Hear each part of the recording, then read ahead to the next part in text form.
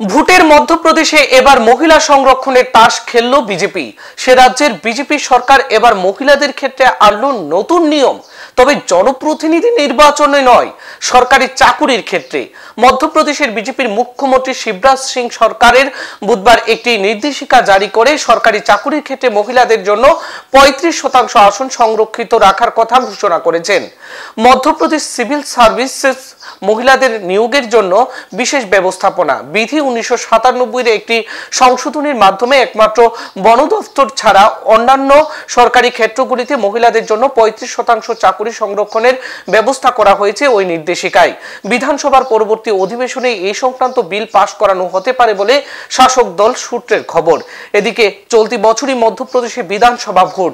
তার আগেই মহিলাদের ভোট পাওয়ার জন্যই বিজেপির এই রণকৌশল বলে মনে করছে রাজনৈতিক পর্যবেক্ষক মহল।